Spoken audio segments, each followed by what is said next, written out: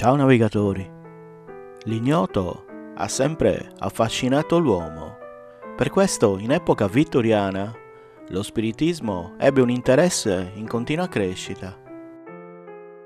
Non peraltro, molti oggetti moderni che rappresentano lo spiritismo nascono nel XIX secolo, dalle carte dei tarocchi alle tavole Ouija.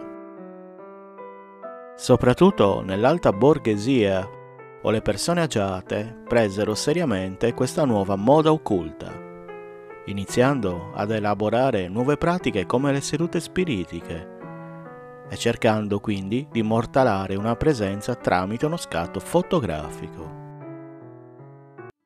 Da rovescio della medaglia, quelle religioni standardizzate iniziarono ad avere poco interesse. Le persone davano sempre più importanza all'occulto e alla morte si inizia a fotografare i propri defunti, non solo, nella bara, ma anche come se fossero ancora vivi, in piedi o seduti.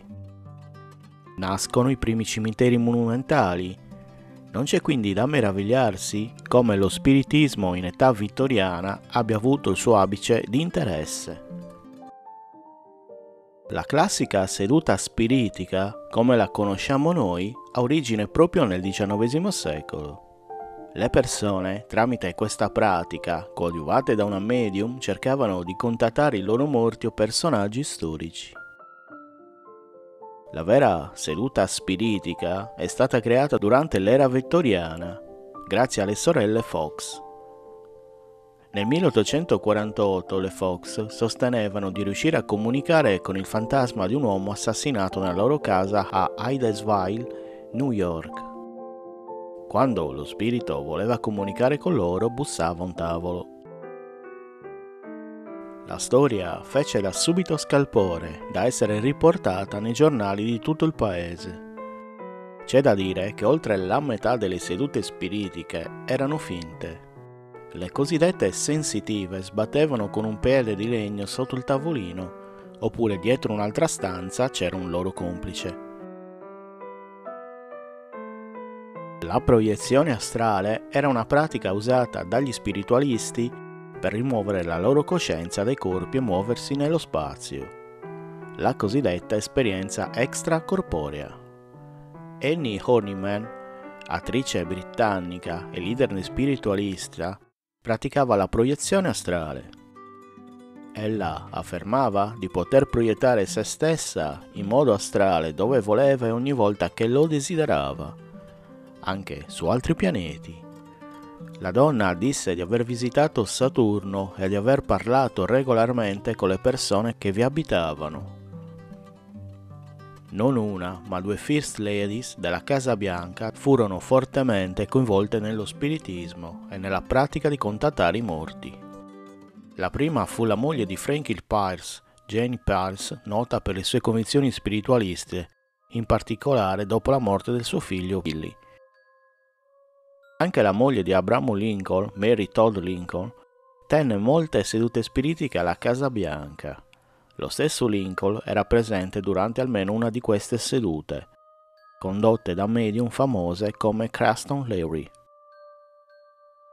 In epoca vittoriana, il fotografo William H. Mumbler ebbe il merito di portare una nuova forma di spiritismo, riuscire a immortalare con una fotografia dei presunti fantasmi. Per puro caso, mentre sviluppava una foto, si accorse di una doppia esposizione che mostrava quello che sembrava un fantasma dietro una persona. Presto iniziò a ricevere chiamate da molte famiglie negli Stati Uniti per i funerali. La tecnica di questo tipo di fotografia puntava a localizzare ambienti con strane luci o nebbie, qualsiasi cosa che potesse essere associata con il mondo ultraterreno e luoghi cari al defunto, quindi per immortalare una presenza.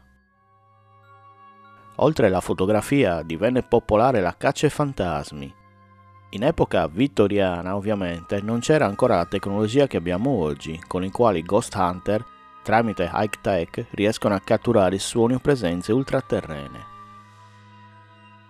Nel XIX secolo si faceva affidamento a candele, quando le fiamme diventavano di colore blu si pensava alla presenza di uno spirito, oppure si utilizzava un ramo bagnato per rilevare un luogo più freddo, o persino pezzi di vetro e specchi in cui gli spiriti si sarebbero mostrati.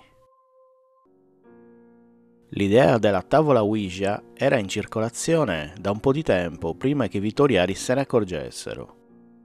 Le versioni precedenti consistevano in carta e penna o anche una lavagna bianca in cui le persone scrivevano le parole, sopra le quali gli spiriti dovevano rispondere. Ufficialmente la tavola Ouija nasce nel 1891 da un'azienda di giocattoli che nella pubblicità parlava di questa magica tavola che riusciva a rispondere a domande sul passato e collegare il mondo dei vivi con quello dei morti.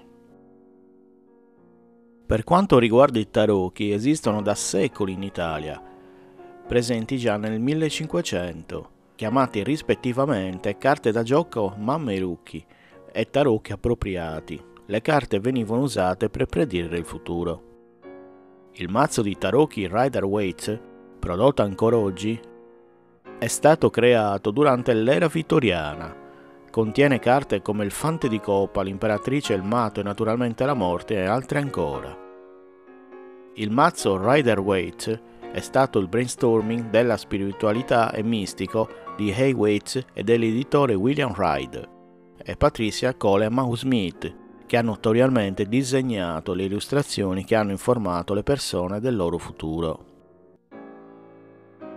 Infine, a New York nel 1879 fu fondata una vera cittadina nel quale ancora oggi ospitano medium sensitivi, astrologi e altri esperti spirituali. La città è conosciuta come Lily Dale. Bene, se questo video ti è piaciuto lascia un like, alla prossima, ciao!